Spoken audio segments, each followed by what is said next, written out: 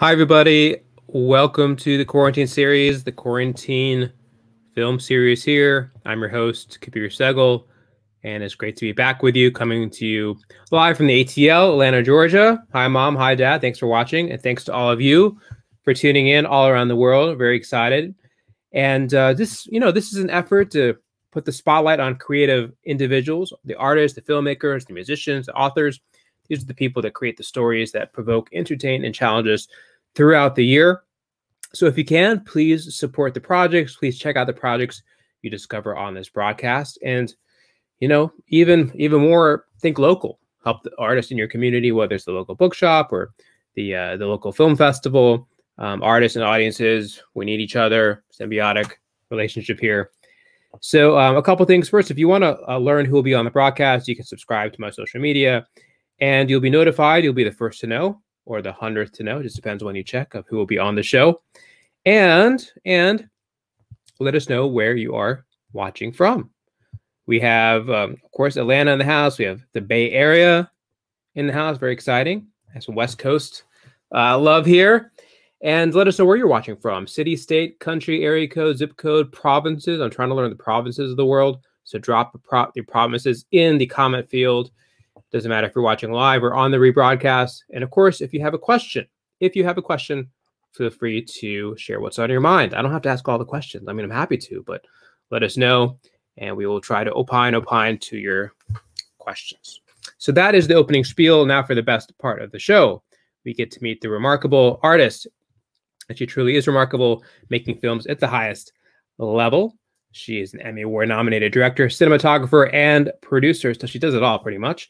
Um, her new film, which we'll talk about after Antarctica, Work in Progress, is a documentary feature following the life of one of National Geographic's most celebrated polar ex- explorers. Awesome. And some of her films include 1000 Stories, and her films have been supported by the Sundance Institute and San Francisco Film, SF Film. Um, please welcome to the show, live from San Francisco, the maestro herself, Tasha Van Zandt. Welcome. Thanks so much. I'm so excited to be here. Pleasure to have you. Tell us first, Tasha, how has the quarantine affected you? How's it affected some of your projects that you had in the pipeline?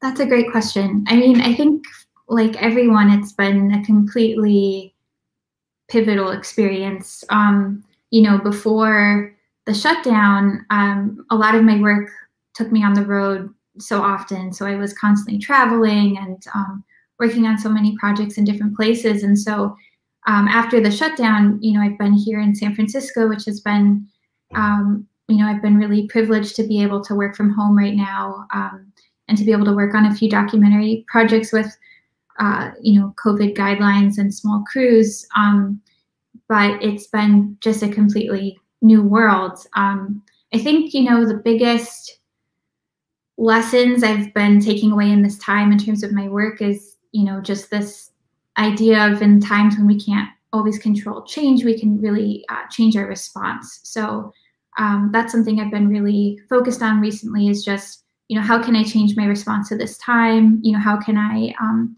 evolve my projects to have more impact and um, just really, you know, viewing how I spend my time and what I work on um, in a new way.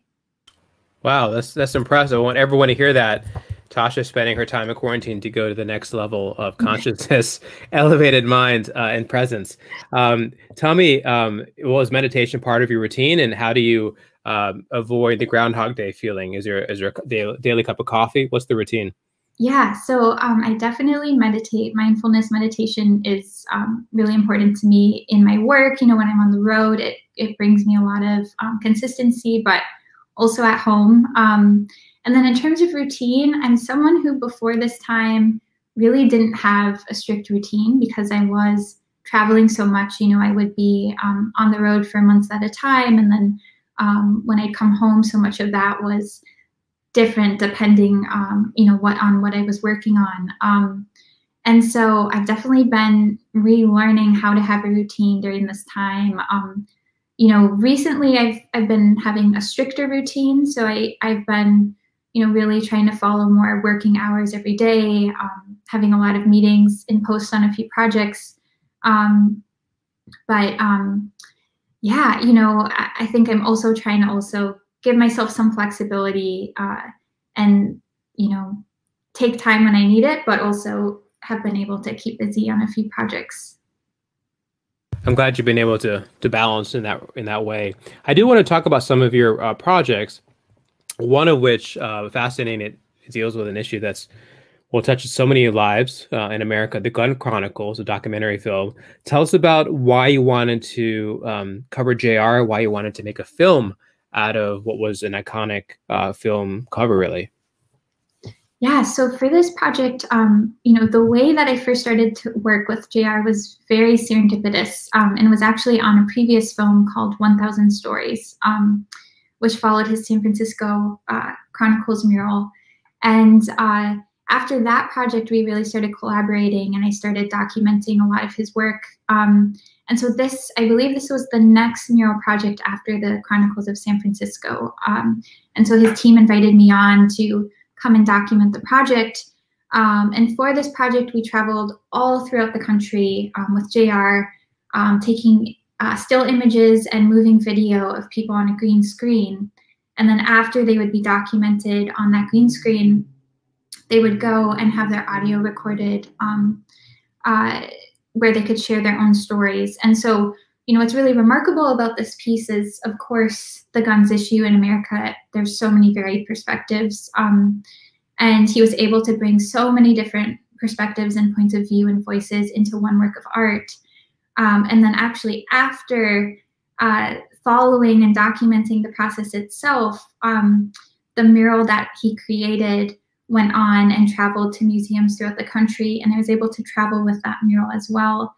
Um, and uh, it was displayed in museums and um, different nonprofits and public spaces where people could come for free and listen to all of the stories. Um, and uh, it was really remarkable because during that experience, we were able to see and document so many people from you know both sides of the map in terms of perspectives on gun control come together and have conversations. Um, so, you know, for me as a documentarian, a lot of the work that I do is I'm looking to create bridges and amplify voices and how we can use our lenses to, you know, really um, create more unity in this world. Um, uh, especially here in America, there's so much divide right now. So finding ways where we can really um, unite people. So this project was so incredible because it really was such a project of uh, unity and um, you know you could really see so many different people uh, shift their perspectives and um, have conversations with people they might not otherwise have conversations with. Yeah it's a very important and important uh, civic contribution i think you made and looking at such a polarizing issue from different perspectives. I guess my questions would be how did it did your opinion on the issue become more nuanced as a result of this? Um, and and jr did he see what did he think about the cut um, and how he was portrayed in the film. Yeah, so um, you know, I think for JR, he's coming from France, and so the guns issue, he had such um, you know uh, an interesting perspective on it because it's something that they don't see in the same way in France. Um, so he was able to really have, I think, uh, a great you know um, observation of it here in the U.S. And for me personally, um, you know, I really took a journalistic approach when documenting the project and the piece. Um, and uh, you know, I feel I feel strongly about our need to look at gun control in this country. But what it did do is it really helped me um, see where we need to learn to come together and have conversations around this divide because um, you know so many people have perspectives on the opposite end of the spectrum and it's really looking at how can we bring people together to really um, understand where everyone's coming from, but also really create change that's really needed in this country around the issue. Yeah. Um, and I want to ask about, you know, you mentioned 1,000 stories. Um, I do want to ask, you have such an eclectic uh, background in the, in the projects and films you take on. So what is it, um, what are the types of attributes for the films that you take on? So it's like, oh, I'm going to turn this into my, my next film and maybe speak about that in context of your previous film that you mentioned, 1,000 stories. Yeah, I mean, that's a great question. I think, you know, where I'm at in my career is I'm still very much building my body of work. But as I look at the links that um, bring it together, a lot of the work ties into unity. And with 1000 Stories, um, that was my first project that I did with JR. And um, uh, I think I said this earlier, but it was very serendipitous how it came to be. I um, live in San Francisco and have followed JR's work for many years. Um, and actually, back in college, ended up designing my own major, largely inspired by his work in art for social justice. Um, but I was walking down the street one day and saw this large 53 foot truck um, with eyes wheat pasted on the side in JR style and um, approached the truck and outwalked um, some of his team members who asked if I was there to participate. And so I asked them about the mural and I went in and was actually, I think, the third or fourth participant on the first day of the mural project. Um, so I really experienced it as participants. And when I went into the truck and met JR, um, you know, I told him about my work as a documentarian and that I would love to come back and be able to document the process. And fortunately, I was able to come back the next day and brought my camera um, and really documented it as a one woman band um, because it was such a, a, quick turn of events. Um, but that was really a remarkable project to be able to document and observe because it was um, a 30 day project all over the city of San Francisco where they had this 53 foot truck.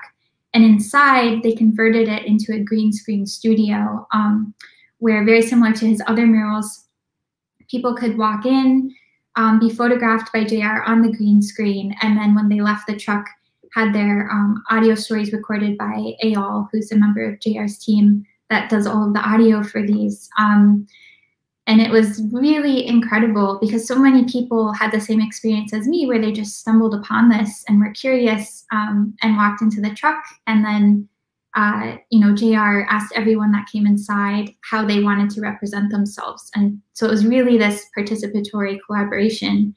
Um, and what else is so great about this project as well in terms of that theme of unity is that everyone was photographed in the same way um, all their stories were shared in the same way. So when you're looking at this piece, um, you know, and you click on the voices, uh, you hear so many different perspectives and walks of life in the city. Um, I believe it was 1,200 people total that are in this mural. Um, and then after the documentation of the mural, it went on to SF MoMA, um, where people could go and experience the LED screen. Um, but what's great is that JR's team also built an app um, through this process. So if you download the JR Murals app, you can actually go and experience this mural and then click on anyone in the piece and hear their story.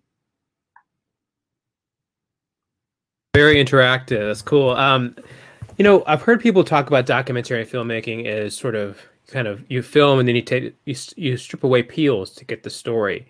And I'm wondering, and when you film, are you filming with a story arc in mind, or are there parts of it where you're just filming and then the story emerges later in the edit?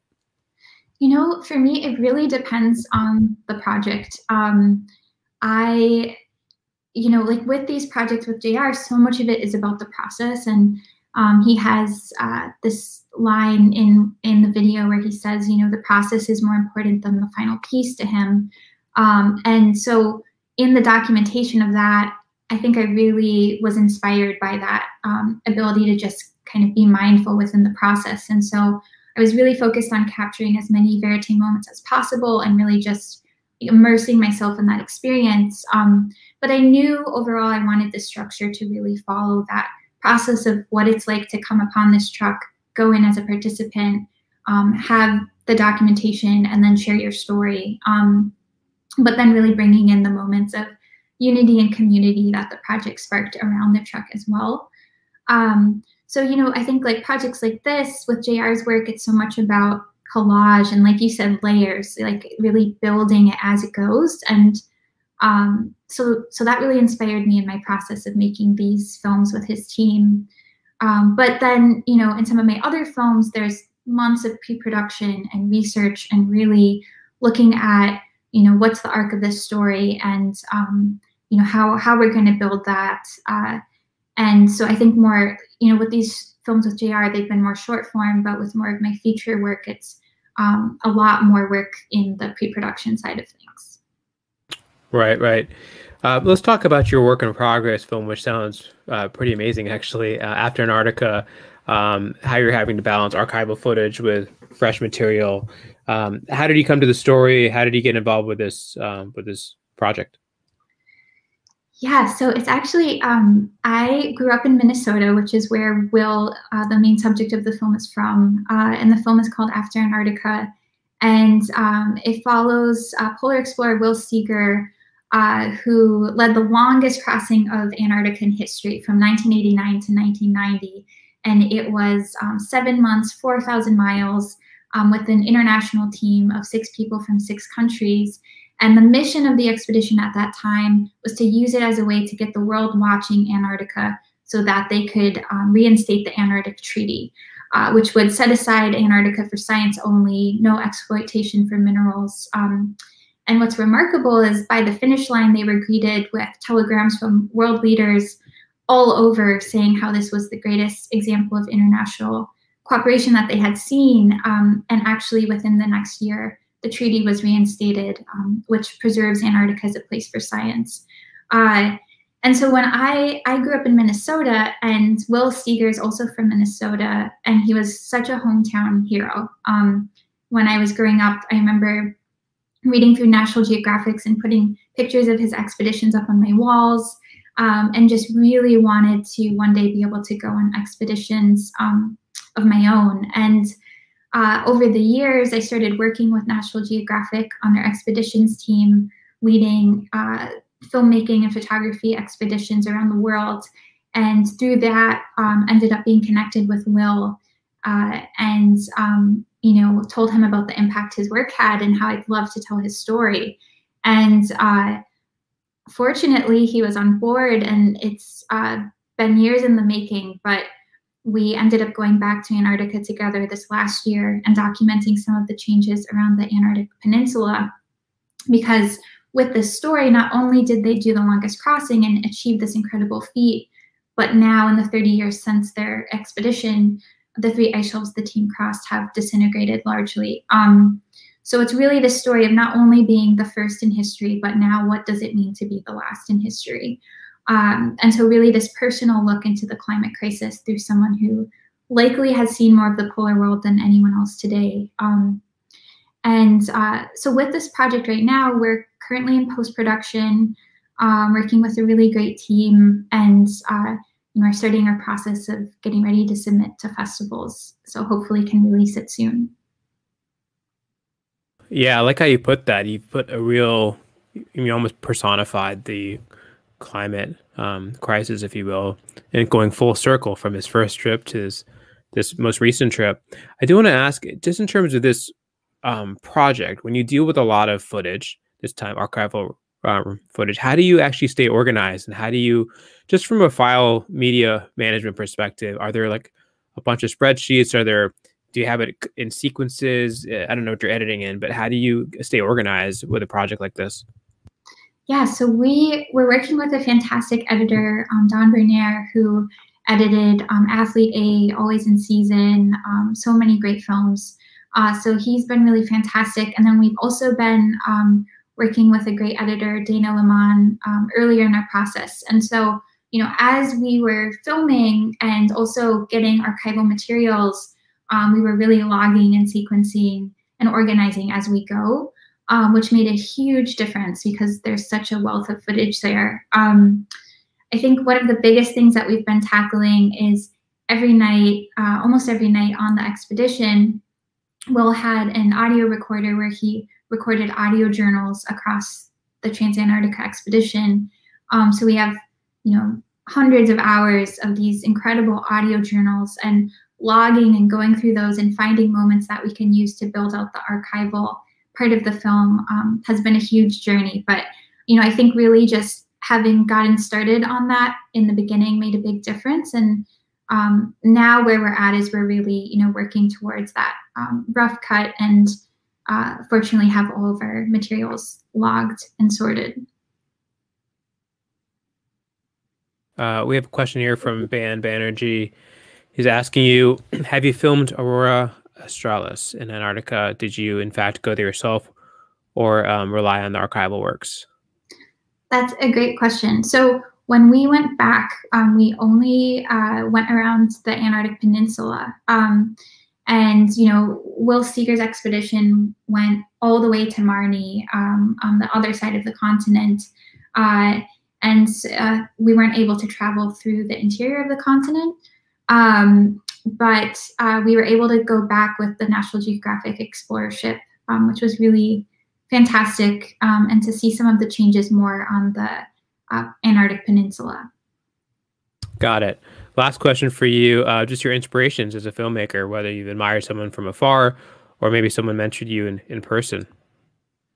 That's that's a great question. I mean, I think for me, I'm so inspired by so many storytellers, um, and uh, there's so many films that I love. I think you know um, I've learned a lot from the people that I've told stories with. So I've learned so much from Will about the themes of perseverance and, um, you know, continuing to set forth in the face of great loss and, um, you know, just how to use a story to create impact, because um, that's what he's really done in his life's work. And then, you know, with someone like JR, I've learned so much by being able to follow his story and process about um, really embracing that process, because I think as a storyteller, it's so much about the process. There's so many unknowns and um, so much that we have to adapt to. But by really being able to learn to adapt and be in that process, that's where all the great um, moments are. So, um, yeah, I think, you know, really so much from the people I've been able to observe. But